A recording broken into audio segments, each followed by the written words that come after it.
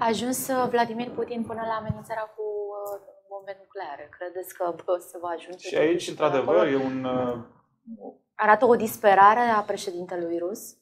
Uh, aș spune mai puțin o disperare. Eu văd tot într-o cheie de război informațional uh, uh, în care încerci să induci frica în uh, societățile occidentale în principal, care sunt societăți democratice, dacă induci frica la nivelul populației, populația s-ar putea să facă presiuni pentru o poziție mai neutră.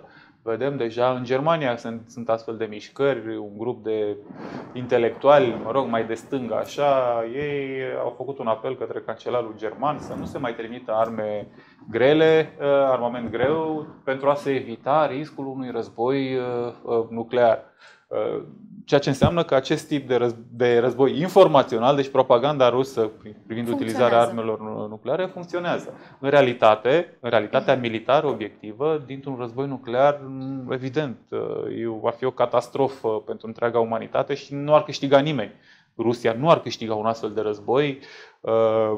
Țările membre NATO, noi, evident, nu am câștigat un astfel de război. Toată lumea ar pierde cu drame incalificabile și Uh, pierderi uh, de nerecuperat pentru întreaga umanitate. Deci nu văd această opțiune. Sunt convins că în Rusia sunt oameni raționali, uh, oameni care înțeleg riscurile, dar, repet, există și această dimensiune a războiului informațional în care încerci să influențezi populațiile statelor pe care le consideri inamice pentru ca aceste populații, la rândul lor, mai ales în regimurile democratice, să pună presiune asupra decidenților în sensul unor decizii pe care, care sunt favorabile ție.